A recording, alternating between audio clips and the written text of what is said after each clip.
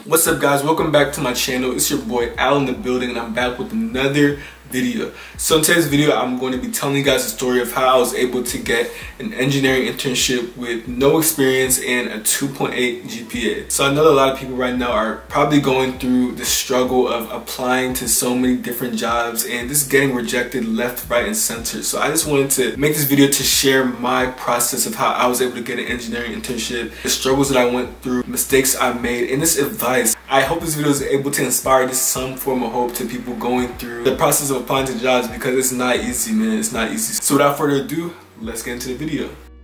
The first year is super, super important. Like the first year, it's recommended that you get at least a 3.0 GPA because that is what a lot of companies are going to use to be able to even determine if you're able to even apply. My first year, I ended up unfortunately getting a 2.8 GPA, which just absolutely sucked because automatically right off the bat as I'm trying to find an internship for my second year, I have a smaller job outlook because a lot of companies require at least a 3.0 GPA. My resume is already not super spectacular because this is my first year in college. And then I have no experience. This is my first professional experience that I'm applying to and I'm trying to get.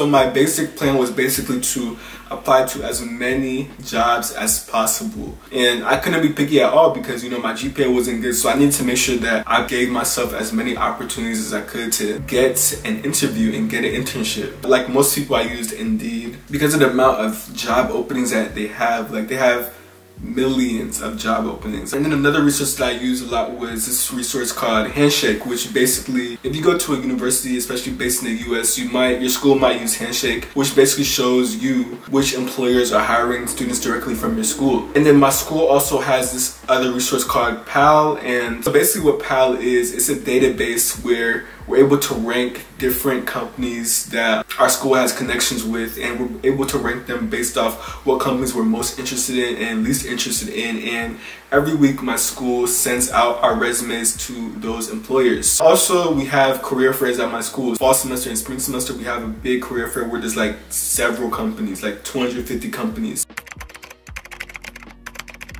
applying through Indeed and company websites and Handshake absolutely did not work. I applied to over 200 companies. I didn't get one call back. It's either I got ghosted or I got rejected. So yeah, the career fair was also a waste of time. I went to the career fair at my school and I didn't get any follow-ups. The most effective resource that seemed to be working was definitely PAL and I was able to get three interviews through that resource. So shout out to my school.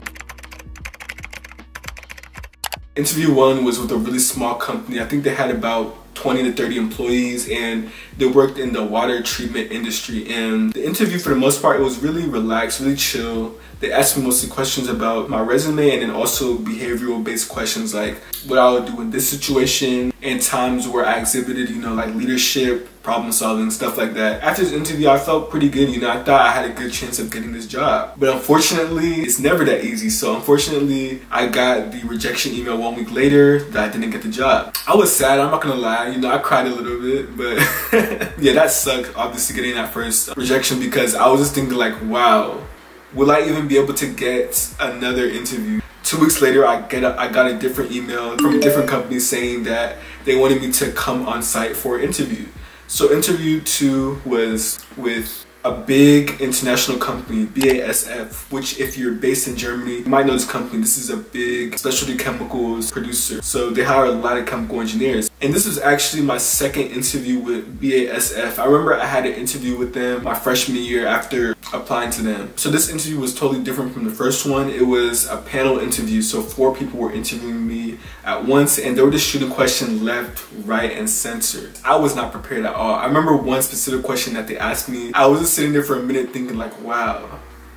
And then finally I came up with a lie. And I'm pretty sure they could tell that I was lying. I knew it was gonna be a miracle if I got that job. They got back to me within the same 24 hours. They told me that they were not moving forward with me. So obviously that sucked, you know, rejection really, it really starts to eat at you. You think that, why, am I really not good enough? Like what is the problem? But there is light always at the end of the tunnel. So I ended up getting another email a month later from a different company that wanted me to come on site for an interview. This company was a medium-sized company, about 100 employees, and it was an engineering consulting firm. And they wanted me to interview for a project management position. But this time I really took my time practicing behavioral based questions and really just making sure that I was prepared for this interview. Overall, the interview went super good. After the interview, I knew I had a good chance getting this job because they gave me a tour of the company. I got to meet a lot of the different employees and it just generally seemed like they were really interested in, you know, me working there and they seemed like they really liked me. So long story short, third time is a charm. I ended up getting the job at this company and ah, thank God, you know, that was just, that was one of the happiest days of my life. I want you guys to notice some common themes that happen throughout the course of all those interviews and whatnot. So especially with chemical engineering and especially since it was my first job and my first internship experience, a lot of the interviews weren't really as technical. So if you're in like your first couple of years of school or like you haven't really had any experience in the industry, do not worry at all about having a technical interview. Most likely they're gonna ask you behavioral based questions and they're gonna ask you questions about your resume. So make sure that you know your resume inside and out because obviously they'll be able to tell if you're lying about certain things that you put on your resume. As you can see, my school was able to get me all my interviews if you can, try to rely on the connections that your school has, alumni that they've hired, companies that hire people from your school. That is such a good way to get your foot in the door. If my school didn't have connections like that with local employers, most likely I probably wouldn't have gotten these three interviews and I probably wouldn't have even been able to get an internship. I think the biggest mistake I made throughout this process that probably would have saved me a lot of time and probably would have got me more interview opportunities was not tailoring my resume at all. So this was a super big mistake. I used the same resume to apply to every single job. Try to make sure that you try to switch up your resume at least a little bit. Some roles will have target keywords that they're looking for in your resume and they'll filter out your resume if your resume doesn't have those keywords. Another mistake I made was just having no direction at all as to the type of company that I was trying to work for. I just wanted to get my foot in the door and I feel like if I would have had a direction of what type of company I was looking for, I could have even further improve my resume and submit better quality applications. Try to have an idea of what type of company or industry you're trying to work for. Are you trying to work for maybe like a tech-based company or are you trying to work for maybe a traditional engineering company? Try to have an idea of what you are looking for in an internship.